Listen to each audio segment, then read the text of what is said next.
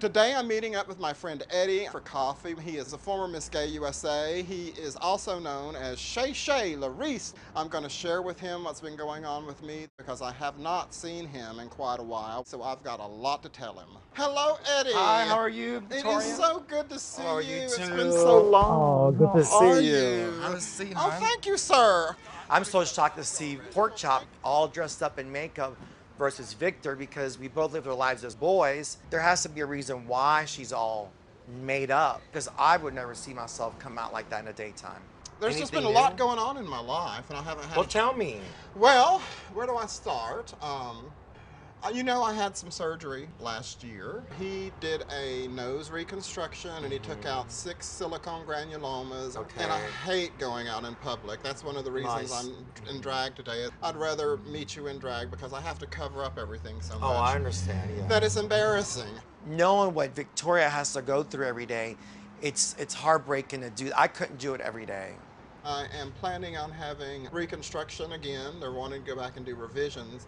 But I'm hoping to go to see Dr. Nassif and Dr. Dubrow because they have more experience than my previous doctor. Okay. I just hope that they're willing to take me on as a client because I know that most doctors are very afraid of silicone and what it yeah, may do. a lot of them. Yeah. So it's my concern they may want to turn me away because they're not sure what they're going to get into. Pork Chop and I have both had injections done. I'm really fortunate that I didn't have those issues. Even when I'm dressed as a boy, I have to wear makeup. I put Oh, foundation wow. on my nose, foundation on my forehead. I never knew that you were so uncomfortable about it in the daytime. I didn't. If I could turn back time, I would have never had this done. I need this surgery to give me back my confidence. I need this surgery to give me back my life.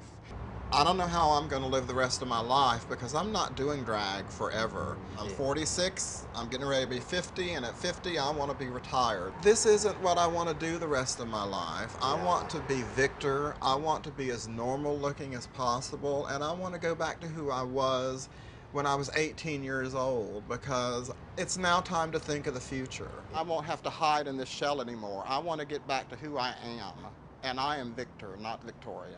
You're gonna be in good hands, though. I'm I'm, gonna pray for you and. Chant, Yeah. pray, write Congress, whatever you have Yeah. to do. yes, ma'am. Yeah, that's good. Yeah. Hey guys, I'm Dr. Nassif from Botched. Thanks for checking out the YouTube channel. Click here to watch some more scenes. Doctor's Orders.